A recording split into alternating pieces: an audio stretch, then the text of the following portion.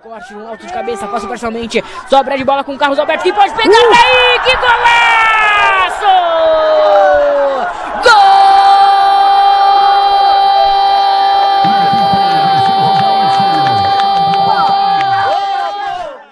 Olha o replay do lance para você rever. Uma sobra de bola voltou para ele, pro capitão Carlos Alberto.